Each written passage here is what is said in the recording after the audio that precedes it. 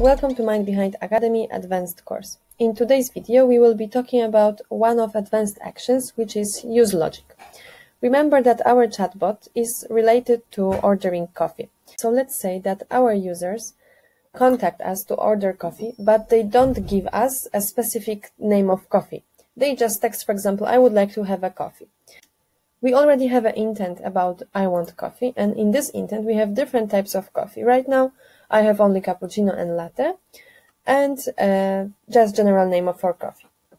Remember that also we created entity, which is important part of use logic. In coffee entity, I will let myself come back here. In coffee entity, we have latte and cappuccino. And that's important information for us because that's the only types of coffee that I prepared. So I will expect from my users to say either I want a coffee, I want latte, or I want cappuccino.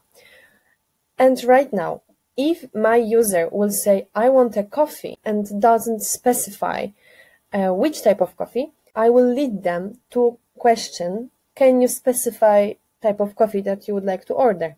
But if immediately they text me, latte please, or I would like to have a cup of cappuccino, then I will lead them to another flow, to another path of flow. So how do we do that? Let's save again to be sure that everything is fine. So we start with use logic. In here, let's give a name to our use logic. For example, no specific type of coffee. So this is the first, this is the flow that will be let our intent if our user doesn't specify the type of coffee. And now I click plus. In here condition is coffee and I click is empty because the entity that I've prepared contains latte and cappuccino and the user will not use any of this information. They will just write, for example, I want a coffee, which is not a part of entity that I prepared before. And now I will connect. And now I will connect this logic action to message that they will see after they write, I want a coffee. Which is, for example, which type of coffee would you like to have? And I will send it as a send text.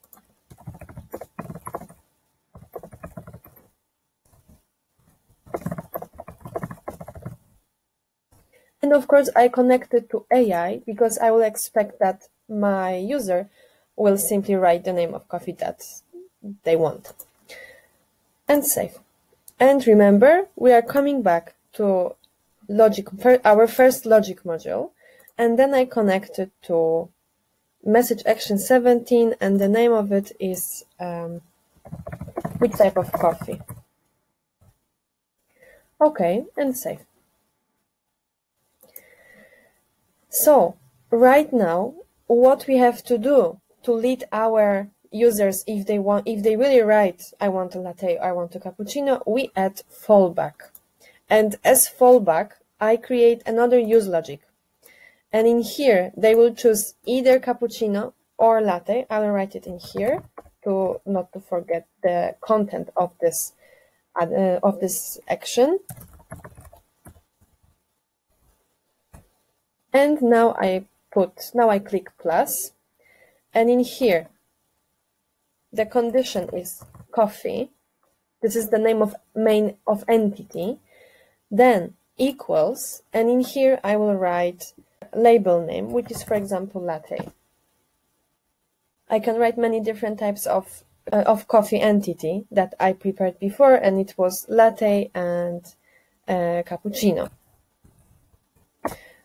And right now, once they choose latte or cappuccino, I will connect them to size. And in size and selection, I'm asking them which size of coffee they would like to have.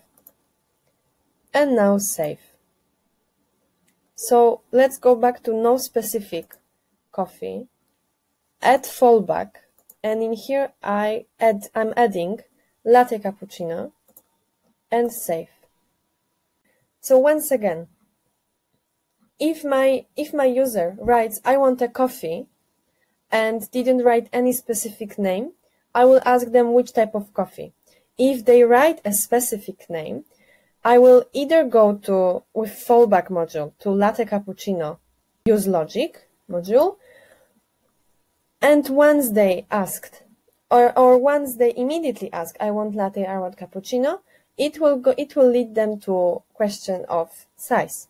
Before we test our chatbot, remember to connect intent, I want a coffee in our case, to uh, logic module, no specific coffee.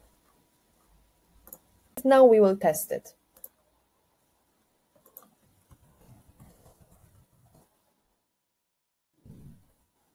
And now perfectly as I said, once we text I want a coffee and I don't give a specific name for this coffee, they're asking me which type of coffee would you like to have?